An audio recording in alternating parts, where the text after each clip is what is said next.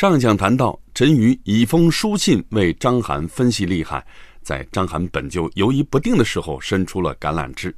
项羽却趁着章邯有心和谈的时机，发动突袭，连败秦军。章邯毕竟是一名优秀的指挥官，即便在这种时候，阵脚依然不乱，实力呢也并没有遭受重创。如果章邯决意把战争进行到底，那么凭借着后勤补给的优势，项羽未必能够讨到便宜。而如果继续谋求和谈，也还有足够的本钱可以讨价还价。章邯呢，哎，终于还是决意和谈，把选择权交给了项羽。项羽啊，和大家商量说，联军方面粮食呢已经支撑不了多久了，要不就答应和谈吧。粮食短缺是大家都看得到的短板，章邯的战斗力也是大家都充分领教过的，所以提案得到了一致通过，不打了。就这样，双方在殷墟举行定盟仪式。这个殷墟就是殷商故都，因为在近代出土了丰富的甲骨文而闻名的河南安阳殷墟。我们需要留意的是，定盟仪式不是投降仪式，双方啊只是握手言和，结成统一战线。章邯也好，他手下的二十万秦军也好，至少从名义上并没有向联军投降。结盟之后，章邯领导的秦军和项羽领导的楚军从敌对关系变成了伙伴关系。秦军并没有解除武装。结盟仪式完成之后，章邯大概有如释重负的感觉吧，在项羽面前忍不住落下了英雄泪，隶属赵高的种种不适。至于项羽，对章邯显然是没有完全消除戒心，因为他的一系列安排很见心机。立章邯为雍王，留在楚军当中，以司马欣为上将军，接替章邯来统帅二十万秦军，并且作为先头部队西进关中。章邯名义上获得了一个雍王的头衔，雍城是秦国故都，在秦朝的郡县系统里变成了雍县，隶属内史。秦朝郡县体系里的内史大约相当于周天子的王姬。这个时候依然在秦政府的掌控之中，立章邯为雍王，相当于给了章邯一个承诺：将来啊，只要打下关中，推翻秦政府，就让章邯在关中称王。这种安排也在暗中呢升格了项羽的地位，因为项羽这时候的身份还只是楚国上将军，归楚怀王管。即便被诸侯公推为诸侯上将军，也仅仅相当于战国时代的所谓纵长，合纵联军的临时性最高统帅，显然不具备立任何人为王的资格。然而，立章邯为雍王，从情势上讲，这件事既然势在必行，也只能事急从权了。但传达出来的信号是，项羽隐隐然已经是无冕之王，天下共主了。另一方面，虽然给章邯封王，但项羽显然信不过章邯，所以呢，才会把章邯只身安置在楚军当中，相当于剥夺兵权，并且就近看管。而司马欣因为当初和项梁的渊源，所以深得项羽信任，接掌了章邯对秦军的指挥权。这种安排也很便于安定秦军军心。那么问题来了。这二十万秦军基本来自关中本土，如果派他们打进关中，推翻秦二世政权，他们真的心甘情愿吗？难道由秦军旧长官司马欣接替章邯，就足以稳定军心了吗？答案是，从事情后来的发展推断，这二十万秦军并不介意反攻秦国，大约在他们的认识里。山东六国联军所诉求的，仅仅是恢复战国时代的旧秩序。六国的归六国，秦国的呢？哎，归秦国。最多啊，让秦国换个名目，并且让新一代秦国国君换个血统而已。从秦始皇统一天下以来，版图忽然扩大了那么多，又是北击匈奴，又是南征百越，又是接二连三的天下巡行，秦人呢也被折腾得苦不堪言了。或许意识到了大而全不如小而美。估计章邯和司马欣也向全军将士做出了相应的解释，使得二十万秦军甘当反秦联军的急先锋。于是秦军在前，诸侯联军在后，浩浩荡荡杀奔关中。忽然间，福有双至，哎，又有人来加入了。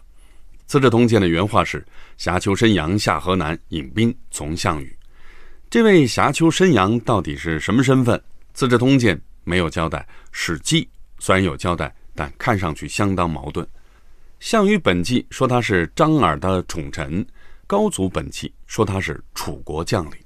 无论如何，这位侠丘申阳因为这件功劳，后来被项羽封为河南王。《资治通鉴》这段记载采自《汉书》。侠丘申阳拿下的地盘是河南，而在《史记》的记载里，不是河南，而是河南郡。看上去，这很像是《资治通鉴》一贯会犯的错误，《汉书》搞错了，《资治通鉴》照录《汉书》，把错误呢也一并抄录下来。但这一次例外，是《史记》搞错了，因为在章邯和项羽和谈的时候，河南郡还不存在。所谓河南，指的是。黄河中游以南，在行政区划上基本就是三川郡了。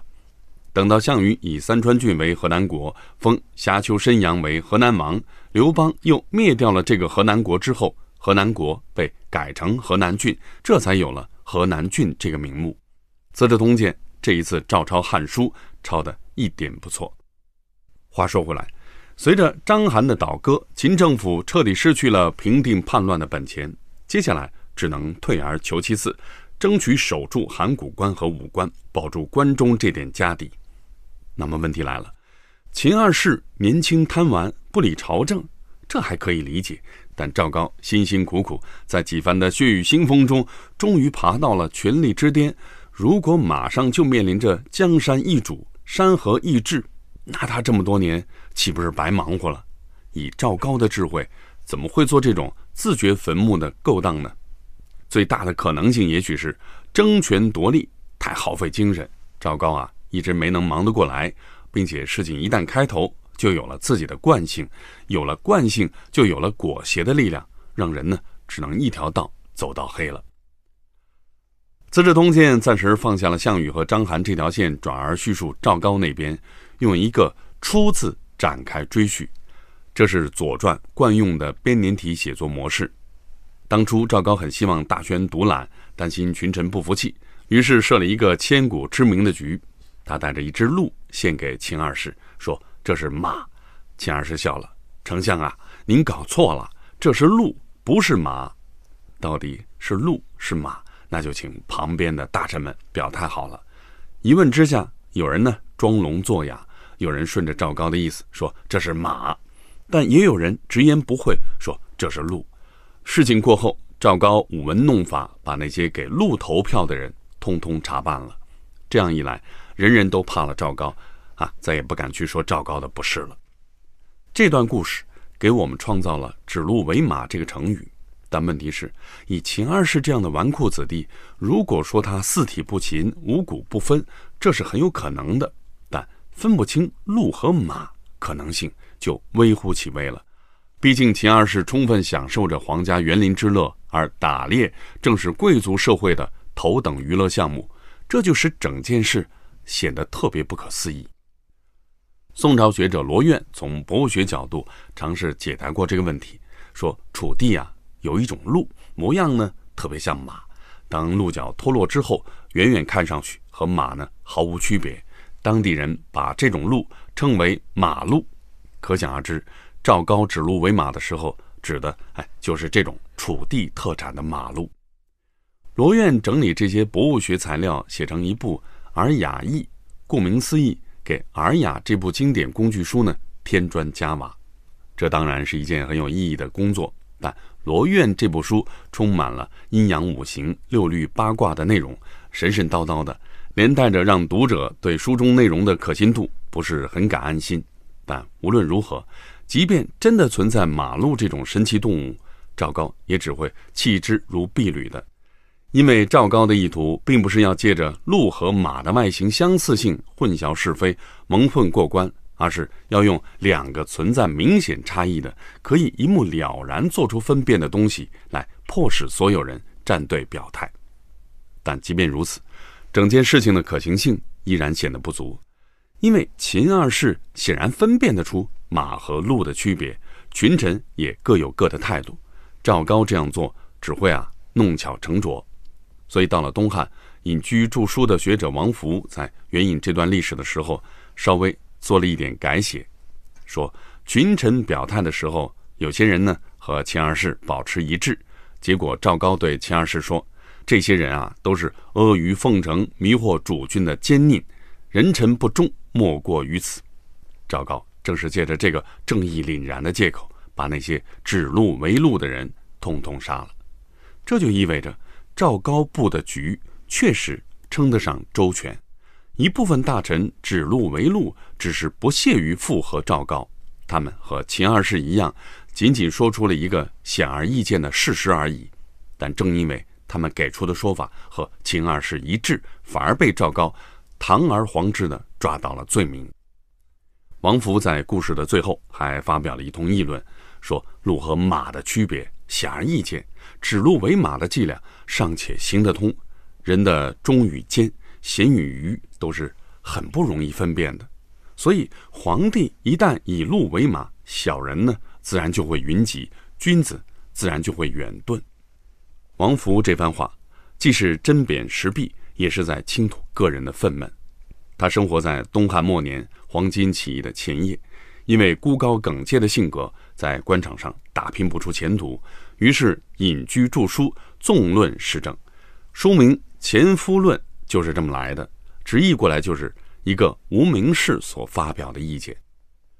王福对指鹿为马事件的改写，只能算是文学加工，而在历史记载里，其实这件事真的存在不同版本，《史记》当中就有两说并存，另一个版本更加合情合理。我们下一讲再谈。